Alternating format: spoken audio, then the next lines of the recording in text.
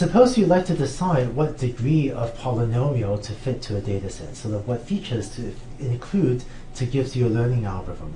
Or suppose you'd like to choose the regularization parameter lambda for a learning algorithm. How do you do that?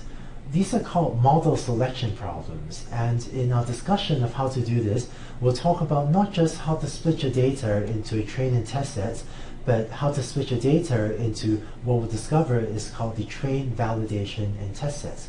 We'll see in this video just what these things are and how to use them to do model selection.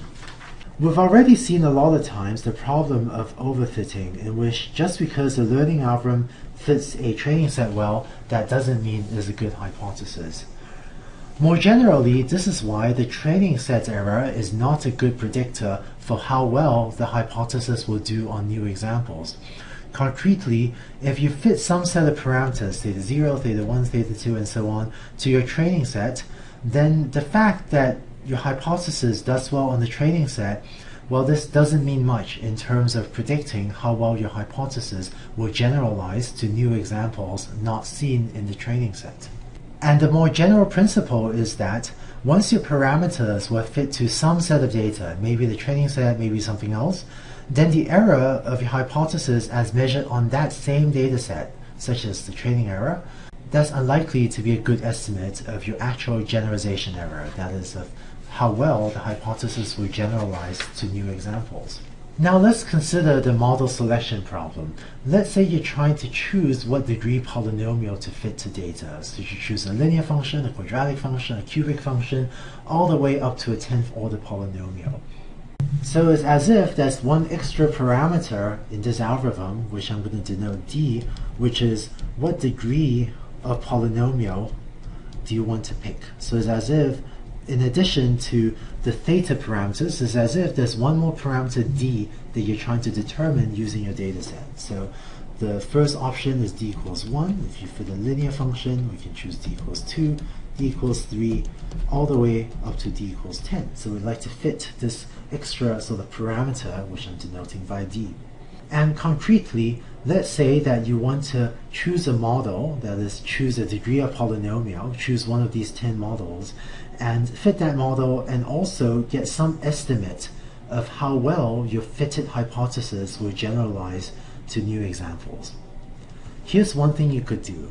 One, you could first take your first model and uh, minimize the training error, and this will give you some parameter vector theta. And um, you could then take your second model, the quadratic function, and fit that to your training set, and this will give you some other parameter vector theta. In order to distinguish between these different parameter vectors, I'm going to use a superscript 1, superscript 2 there, where theta superscript 1 just means the parameters I get by fitting this model to my training data, and theta superscript 2 just means the parameters I get by fitting this quadratic function to my training data, and so on. And uh, by fitting a cubic model, I get parameters theta 3 up to, you know, say theta 10. And one thing we could do is then take these parameters and look at the test set error. So I can compute on my test set j test of 1, j test of uh, theta 2, and so on, j test of theta 3, and so on. So I'm going to take each of my hypotheses with the corresponding parameters and just measure their performance on the test set. Now, one thing I could do then is, in order to select one of these models, I could then see which model has the lowest test set error. And let's just say for this example that I ended up choosing the fifth order polynomial. So this seems reasonable so far. But now let's say I want to take my fit hypothesis, this, this uh, fifth order model, and let's say I want to ask how well does this model generalize? One thing I could do is look at how well my fifth order polynomial hypothesis had done on my test set. But the problem is, this will not be a fair estimate of how well my hypothesis generalizes. And the reason is, what we've done is we've fit this extra parameter d, that is this degree of polynomial, and we fit that parameter d using the test set. Namely, we chose the value of d that gave us the best possible performance on the test set. And so the performance of my parameter vector theta 5 on the test set, that's likely to be an overly optimistic estimate of generalization error. Right? So that because I have fit this parameter d to my test set, it is no longer fair to evaluate my hypothesis on this test set. Because I've fit my parameters to the test set, I've chosen the degree d of polynomial using the test set, and so my hypothesis is likely to do better on this test set than it would on new examples that it hasn't seen before, and that's which is which is what I really care about. So just to reiterate, on the previous slide, we saw that if we fit some set of parameters, you know, say theta 0, theta 1, and so on, to some training set, then the performance of the fitted model on the training set is not predictive of how well the hypothesis will generalize to new examples is because these parameters were fit to the training set, so they're likely to do well on the training set even if the parameters don't do well on other examples. And in the procedure I just described on this slide, we just did the same thing. And specifically what we did was we fit this parameter d to the test set, and by having fit the parameter to the test set, this means that the performance of the hypothesis on that test set may not be a fair estimate of how well the hypothesis is likely to do on examples we haven't seen before. To address this problem in a model selection setting, if we want to evaluate a hypothesis, this is what we usually do instead. Given a data set, instead of just splitting it into a train and test set, what we're going to do is instead split it into three pieces. And um, the first piece is going to be called the training set as usual. So let me call this first part the training set. And the second piece of this data I'm going to call the cross-validation set. Cross-validation. And um, I'm going to abbreviate cross-validation as CV. Sometimes it's also called the validation set instead of cross-validation set.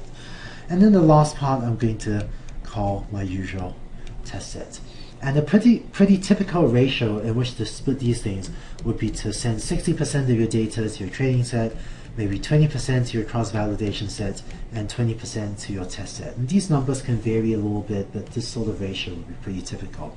And so our training sets will now be only maybe 60% of the data, and our cross-validation set, or our validation set, we'll have some number of examples. I'm going to denote that M subscript CV, so that's the number of uh, cross-validation examples. Following our earlier notational convention, I'm going to use xi CV, comma yi CV to denote the i cross-validation example. And finally, we also have a test set over here with uh, M subscript test being the number of test examples. So now that we've defined the training, validation, or cross-validation and test sets, we can also define the training error, cross-validation error, and test error. So here's my training error, and I'm just writing this as J subscript train of theta. This is pretty much the same thing. It's usually the same thing as the J of theta that been writing so far. It's just a training set error you know, as measured on your training set. And then J subscript CV is my cross-validation error. It's pretty much what you'd expect, just like the training error, except measured on the cross-validation data set. And here's my test set error, same as before. So when faced with a model selection problem like this, what we're going to do is, instead of using the test set to select the model, we're instead going to use the validation set or the cross-validation set to select the model. Concretely, we're going to first take our first hypothesis, take this first model, and say minimize the cost function, and this will give me some parameter vector theta for the linear model. And as before, I'm going to put a superscript 1 just to denote that this is the parameter for the linear model. We do the same thing for the quadratic model, get some parameter vector theta 2, get some parameter vector theta 3, and so on down to, say, the 10th order polynomial. And what I'm going to do is, instead of testing these hypotheses on the test set, I'm instead going to test them on the cross-validation set. I'm going to measure J subscript CV to see how well each of these hypotheses do on my cross-validation set.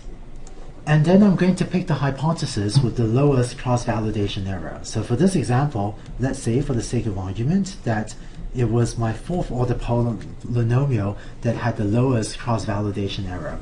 So in that case, I'm going to pick this fourth order polynomial model.